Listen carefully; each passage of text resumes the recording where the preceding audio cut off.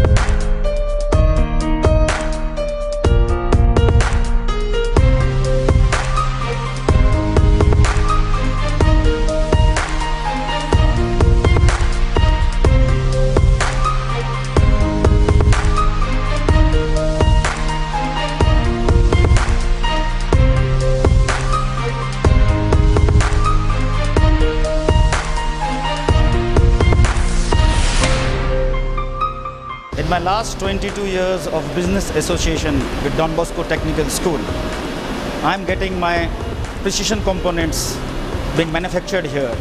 It is being done on very sophisticated CNC machines. The staff and the manpower here and the technical people who are looking after it, they are manufacturing as per international standards and precision quality products are being made here.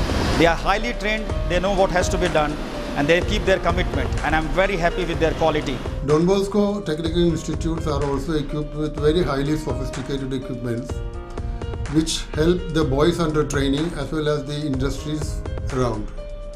They produce very critical component for our machine and they are supposed they are very very good. Such quality is not possible from any similar industries outside Don Bosco. Don Bosco Tech is affiliated to the National Council for Vocational Training, DGE and T, Ministry of Labour, New Delhi, and the Council for the Indian School Certificate Examination, New Delhi. The institute also offers the Diploma in Mechanical Engineering Technicians. With the developing technologies, the institute also provides a facility to train the students in AutoCAD, CAD-CAM, CNC turning, CNC milling, welding, automobiles, hydraulics and pneumatics, soft skills, etc. This institute is a Siemens authorized center for CNC programming and operation, and it is also a Yamaha authorized training center for automobile training.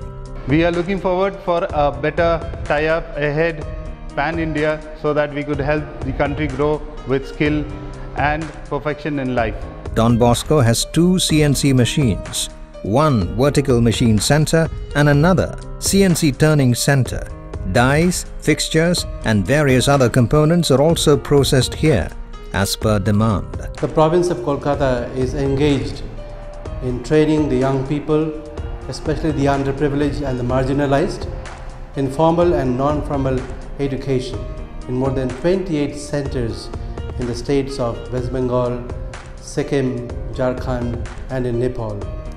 Don Bosco is uh, up to date with the need of the industry. The aim of this technical education is giving a job to the young people and help them to grow as men and women of character. Thus, they can be active members in the nation building. And thus works to meet the demands of the industry at large, keeping quality at its top priority.